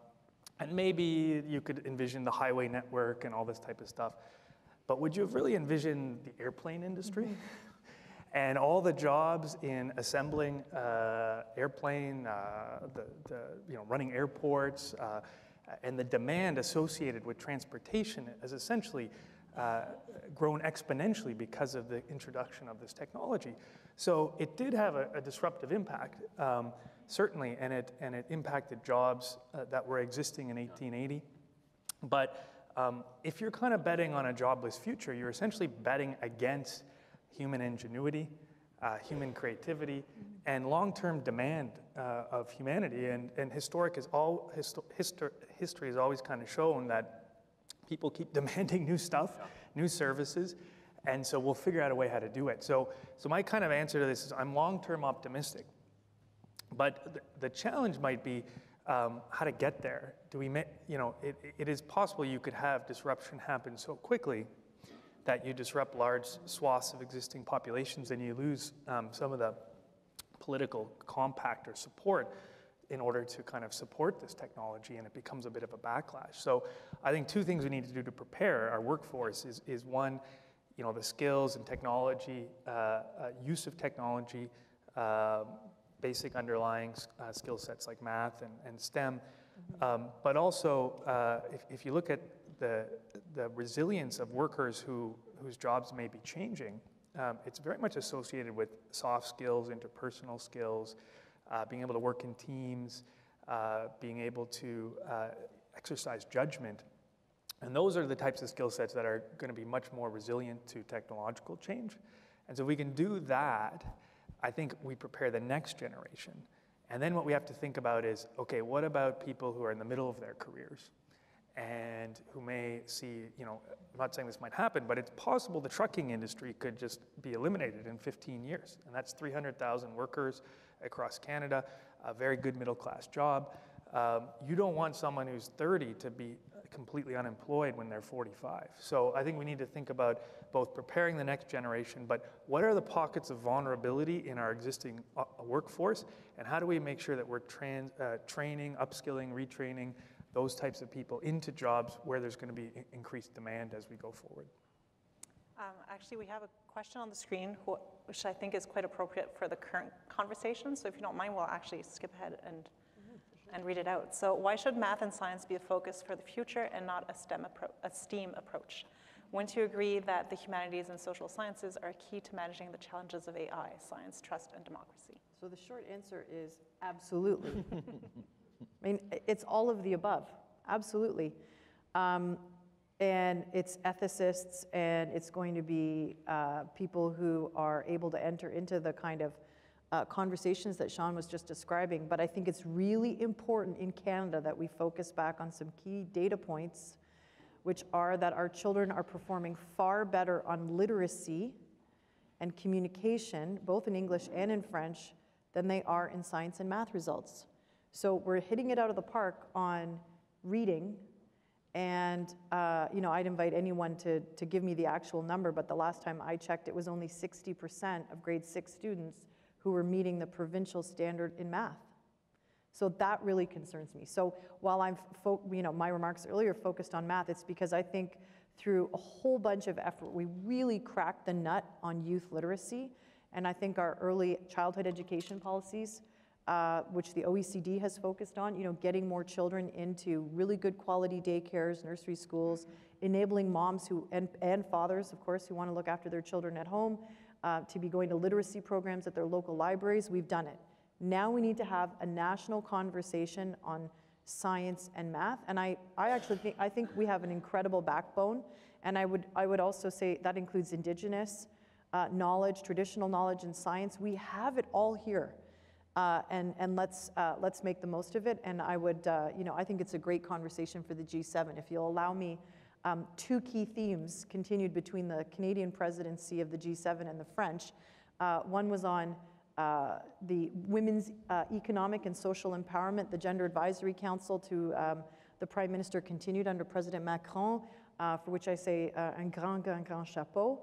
Um, and the second was this conversation on AI. Now, as the US takes over the G7 presidency, I'm sure at least we can keep AI uh, on the agenda, and the rest of us are all just going to keep going on these other integral conversations. But each one of us, let's get a math and science conversation going in our own communities uh, and using the resources of the U of O uh, out to Ottawa uh, area students. I mean, I know we can crack this. I don't think it's hard. Do you have anything to, Peut-être pour. Euh, d'abord pour me féliciter, parce que c'est, on ne l'a pas dit de, de, ce que vous venez de dire, me féliciter aussi, je voudrais prendre cet exemple-là de, d'avoir deux modérateurs qui soient des, doctorants. En France, ça serait, ce serait relativement compliqué. Pourquoi je dis ça? Parce que... Parce que c'est toujours plus complexe. C'est toujours plus compliqué. Pourquoi je prends cet exemple-là? Et ça rejoint la question sur les sciences humaines et sociales, parce que on a fait un gros travail en France la dernière année pour que le doctorat soit reconnu comme un titre professionnel. Ah, Donc, à côté des connaissances, et c'est très important de dire évidemment que euh, moi, je viens des sciences humaines et sociales, ça a été rappelé, je suis historien, donc évidemment, les sciences humaines et sociales doivent peser, ont un rôle. Et si on n'est pas totalement euh, dans une position ancillaire avec les sciences exactes, ce qui peut arriver, c'est évidemment central. Mais aussi parce que quand on fait un niveau de formation, et je prends l'exemple du doctorat, on acquiert des connaissances, dans vos cas dans le domaine de la communication, mais on, acquiert aussi des compétences, on acquiert des soft skills, on acquiert une capacité à manager des projets, une capacité, et ça, sur tout ce qui va se créer dans une économie nouvelle, entre guillemets, c'est absolument essentiel. On apprend, les, parce que vous parliez de quelles sont les qualités respectives des différents pays, je pense que Canada comme France, on a aussi des générations de jeunes entrepreneurs, on a des générations de start-upers qui sont pour faire euh, réussir une start-up, il faut avoir aussi et beaucoup des soft skills, des compétences, euh, et, c'est très important. Et je pense que, voilà, au-delà des disciplines, ce qui est important, c'est ce type d'apprentissage-là. Uh, we know that some individuals are like historically left out or excluded from lifelong learning or training opportunities. I'm, I'm thinking of older workers independent workers, minorities, even women. Um, how can we ensure that these people are not excluded uh, moving forward in this economy of artificial intelligence? Si Monsieur je, peux, Faron si je peux juste enchaîner, parce que il est malheureusement pas là sur un exemple qui est assez frappant. Donc, je vais reparler des gilets jaunes parce qu'Antoine Petit euh, en a parlé hier. Euh, pour moi, les gilets jaunes, ça se résume pas. Antoine a résumé en disant c'est euh, un délai euh, entre en gros, si on passe de 90 km/h à 80 km/h, on perd une heure et demie, une minute et demie, et on ne comprend pas pourquoi les gilets jaunes font ça. Les gilets jaunes, c'est un très bon résumé de la question que vous venez de poser. C'est-à-dire que tout ce qu'on raconte sur ces économies-là, ce sont des économies totalement métropolitaines. Ce sont des économies. Euh, et, la, de la mondialisation. Et, et, la formation professionnelle en France, par exemple, je pense l'exemple de la France, il faut être un homme, occidental, 45 ans, travailler dans une entreprise du CAC 40, dans une, plus grosse entreprise. Donc vous êtes déjà super formé, super inséré, et vous recevez la formation. Donc euh, cette question-là de faire comment vous sortez et comment vous, vous allez vers euh, des, des, citoyennes et citoyens éloignés de ces formations, éloignés de ces questions, éloignés même de, je de l'appétence pour ces questions-là, c'est en tout cas en France la question absolument majeure qui nous est rappelée tous les samedis. Demain, c'est samedi, on va rentrer pour voir de nouveau les Gilets jaunes. Donc, c'est une question qui est absolument centrale. Et encore une fois, je reprends ce que je disais tout à l'heure, elle commence très tôt parce que euh, vous avez, euh, nous on situe à 15 à 20% euh, la population totalement éloignée du numérique. Et la ministre l'a annoncé la semaine dernière, il y a 1 300 000 jeunes qui n'ont pas de qualification, pas d'emploi, pas de certification et qui sont totalement sans situation fixe. En l'occurrence, et c'est pour ça que je reviens sur ce que je disais tout à l'heure, l'intelligence artificielle, dont, euh, avec les doubles aspects, notamment la question des données et autres, peut être euh, aussi, si elle est bien construite, une opportunité pour euh, essayer en tout cas de préparer ces populations-là avant qu'on passe au dernier thème de notre discussion, est-ce que Dr. Campbell ou M. Mullen, vous aviez quelque chose à ajouter sur l'idée de ne pas exclure certaines personnes euh, dans cette euh, révolution? Uh, just maybe a quick point on, on your last question. Sure.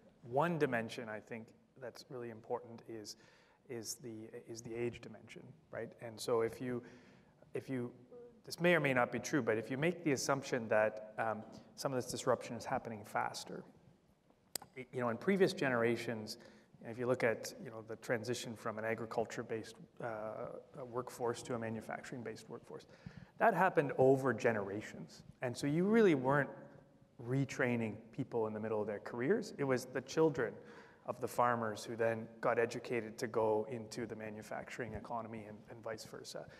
And so, at least in Canada, we don't have an infrastructure for retraining mid career people. I mean, our entire education system from K to 12 into post secondary is, is based on that first third or 20% of your life, 25% of your life. And so, if that becomes the, the societal challenge now, uh, depending on what level of disruption is happening, um, I don't think we can just do this incrementally and just take uh, existing uh, techniques uh, uh, and extend it to people in their 40s and 50s. We need to work back and say, well, wh- what are the challenges facing these type of people? They have families. They have. They want to usually, you know, ideally, you're retraining before you lose your job, so you're trying to do that together. Um, and how are we designing our programs uh, in order to, to meet these goals instead of just kind of incrementally extending our infrastructure that, that we have to date? Um, yeah, I would just say uh, two quick things. Um, the first is uh, that all institutions need to recognize their bias, you know, to, to, to just have a frank assessment if they need help with that, to, to just name it uh, and really listen uh, not only to people that they have as clients or those Canadians that they're serving, but find out who they're not serving. This isn't about taking chairs away from the table, it's about adding them. So I don't know if I have, I think um, uh, Christine or any other, are there any trade commissioners in the room? If you could put your hand up. Um, I think I have one member of our team uh, who's here.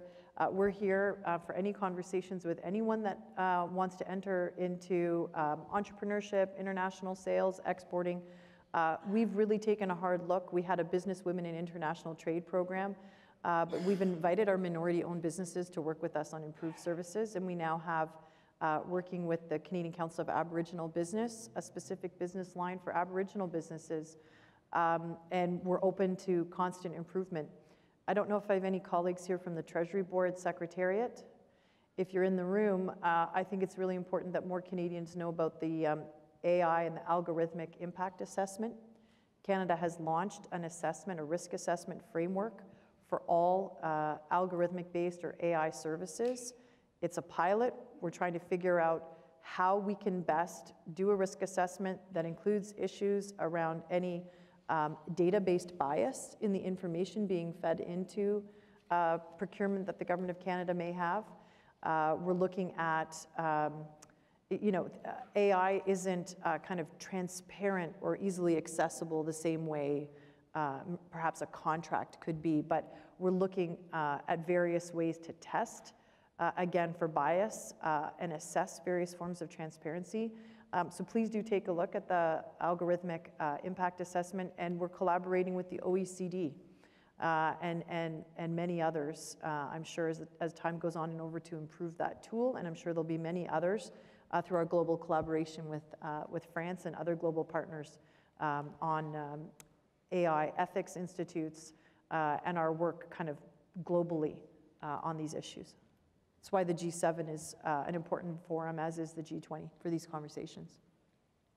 Um, so we've been told that it's, it's time to cut it off. So we'll take maybe one last question that's on the slide. Yeah? Okay. So the question is, improving and adapting education has been, has been a theme throughout this discussion. Can we rely on the public system to educate people for resilience against technological disruption, or do other institutions, such as businesses, have obligations? So I think any one of, you three could actually answer the question as you wish. Yeah, go ahead. Uh, sure. Uh, I think um, the public education system always has to be the core, right? It's the way we get, uh, we promote accessibility and we, we reach the, the vast majority of our, of our population. And yet, and there's a project we're, we're working on right now about digital competencies and, and, and, and youth and kind of getting them into the system and, and getting them interested in this earlier. And um, what, it, what it is is a reflection of you know, the rate of change in our public education system is, is not very fast. And in some ways, that's good. You don't want to be changing the curriculum all the time. But technology tends to, to move faster. So, how can we graft on? How can we make relationships with business or community groups, um, um, NGOs, nonprofits, others, uh, universities even, um, to try and ensure that what we need to know and what our youth need to know um, is staying current, and then have that uh, create a feedback mechanism so that that can go back and, and get adopted back into the public education system. I think that's really the only way to deal with, with a question like this in a systematic way. La, question est importante sur le mot, évidemment, euh, institution publique. Le débat hier, euh, qui était très intéressant sur le rôle des académies, le montre bien comment les institutions publiques ont, un, je dirais, un rôle central à, apporter. Moi, j'en prends un exemple qui est assez frappant sur euh, tout ce qui est responsabilité sociétale et environnementale, qui est, qui est, un thème évidemment central. Ce qui est assez, le paradoxe qui est assez fort, par exemple, dans un pays comme la France, c'est que on a commencé à dire euh, la responsabilité sociétale et, entrepreneur et environnementale, c'est pour les entreprises. je pense que dans des discussions comme euh, celle justement dans un cadre G7, ça serait intéressant que on élargisse ça et on dise qui porte ça. Et voilà, je suis responsable d'une grosse institution publique, donc ça serait bien aussi qu'on euh, ait euh, et qu'on rende des comptes et que, notamment quand il y a, prends l'exemple, et vous soulignez l'importance du, du, dialogue Canada-France, entre institutions, entre universités canadiennes et françaises, pourquoi ne pas faire un volet oui. systématique en disant, voilà une proposition, en disant, eh bien, dans, quand il y a une coopération, au lieu de dire on échange des étudiants, ce qui est important, on échange des chercheurs, on fait des programmes, pourquoi pas dire qu'est-ce que vous faites pour la responsabilité sociétale et environnementale Je voudrais juste dire que l'une des caractéristiques les plus frappantes des établissements d'enseignement supérieur français, c'est que probablement ce sont les pires en termes environnementaux. Pas simplement de notre faute, hein, mais parce qu'on a des vieux locaux. Enfin bon. Mais voilà, dire qu'est-ce que, en gros, comment vous construisez euh, cet avenir-là? Comment vous répondez à cette question sur sensibiliser l'ensemble euh, et, et, assurer la culture scientifique et technique? Je pense que voilà, on pourrait imaginer un, une proposition de ce type. On pourrait peut-être prendre maintenant quelques questions. On a quelques questions aussi sur le Slido. On n'a pas le temps. donc, on va, on va donner donc une chaleureuse main d'applaudissement à Sean Mullen, Olivier Faron, Eilish Campbell. Merci infiniment. Merci pour leur présence. Merci. Bonne, bonne journée. Merci beaucoup aux panélistes et à nos modérateurs pour un panel vraiment très intéressant. On va prendre une très courte pause de 8 à 10 minutes maximum et au retour, on accueille notre conseillère scientifique en chef, Mona Mémère. Merci.